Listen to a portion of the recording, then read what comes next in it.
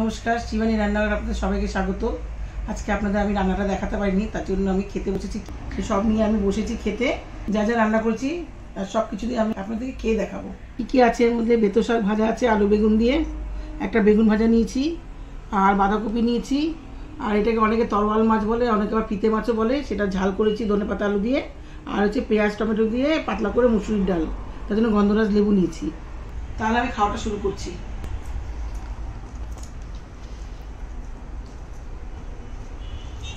প্রথমে আমি বেতে শাক ভাজা দিয়ে ভাতটা মেখে খাচ্ছি।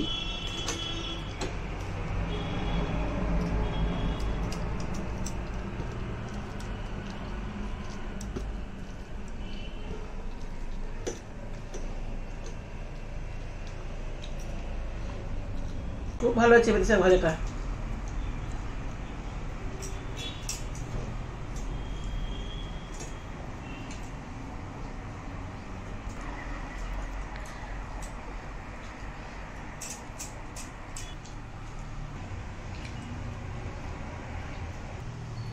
আজকে বাড়িতে কেউ নেই, বড় মেয়ের বাড়িতে সবাই ঘুরতে গেছে, শুধু ছেলের বউ আর আমি রয়েছি।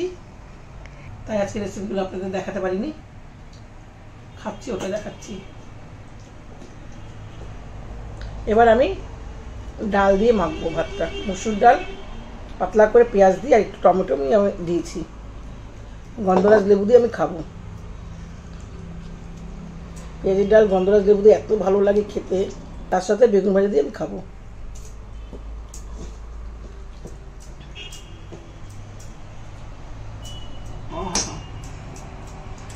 সুন্দর গন্ধরাজ লেবুর গন্ধটা আর এত খেতে ভালো লাগে। বেগুন ভাজা দিয়ে ডাল।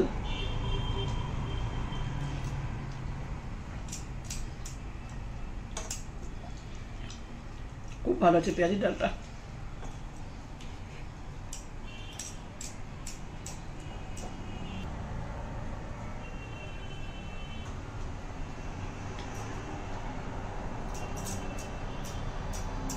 আমি ডালের সাথে একটু বাঁধাকপিও নিয়ে নিচ্ছি।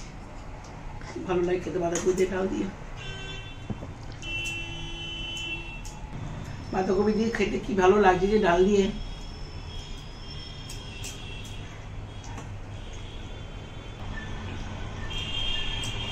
এই যে বাঁধাকপিটা আমি খাচ্ছি, এই রেসিপিটা আমার চ্যানেলে আছে, আপনারা দেখে নিতে পারেন।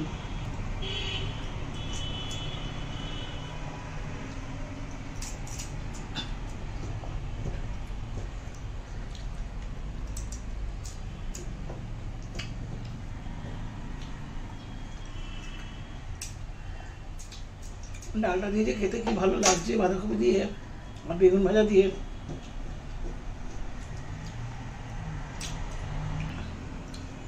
এবার আমি এই মাছটা দিয়ে খাব।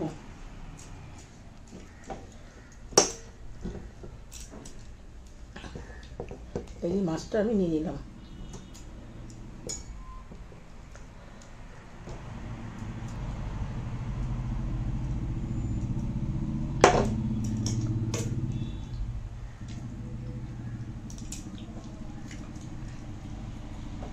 আর মাছটাও অসম্ভব টেস্ট আছে।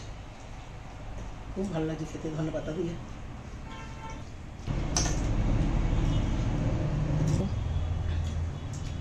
এই রেসিপিটা তো আমার, এই মাছটার রেসিপিটা আমার নেই, এই তরোয়াল মাছের রেসিপি আপনাদের একদিন করে দেখাবো।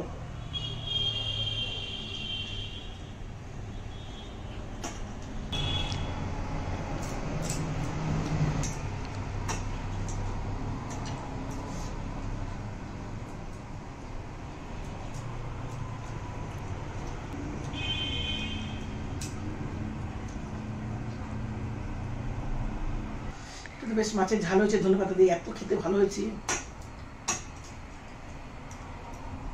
আর এই মাছটা কাটা নিয়ে তো, খেতে আরও ভালো লাগে।